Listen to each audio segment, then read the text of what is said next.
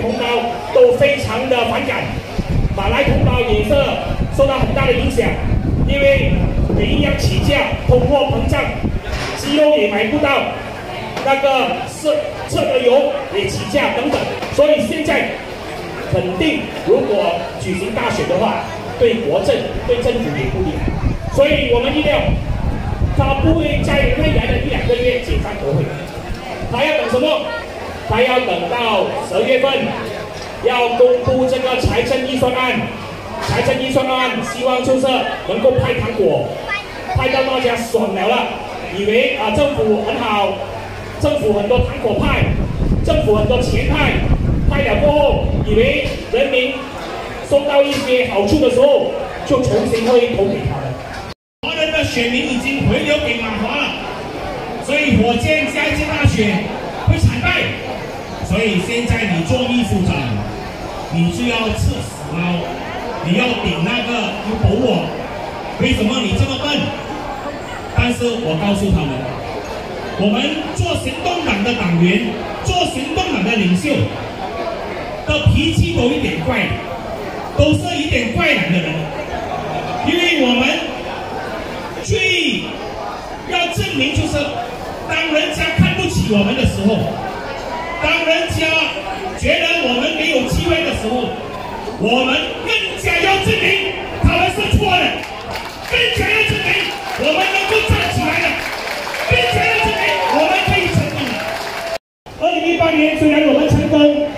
改朝换代，但是因为两年后有这个喜来登政变，所以现在很多人说已经很失望，选了你们。但是有一些是跳槽，的确有一些政治人物是青蛙，但是要看清楚哪一个政党，看清楚哪一个政治领袖，行动党的可以保证我们可以信得过，因为二零一八年我们有四十二个国会议员，包括在沙巴、包括在沙拉越的国会议员，到今天为止，四十二个没有一个跳槽。四十二个保存在民主行动党里面。我在这里要非常感谢大家，在二零一八年大选时给小弟大量的支持、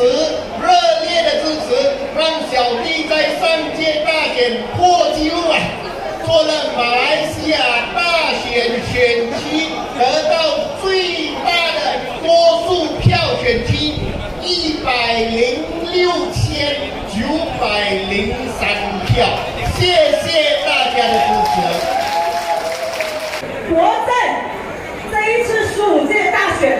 他要很早就十五届大雪，为什么？因为那几根沙皮不要去苏爱不乐吃咖喱饭，他要回去不刷家要做党员。我跟你讲，国政的稳定，它后面的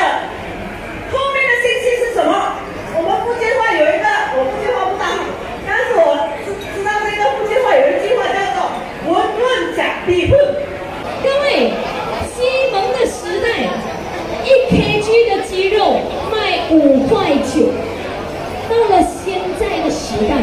我们的国盟政府，我们的国政政府讲说，鸡肉新的底价一 kg 不超过十五块。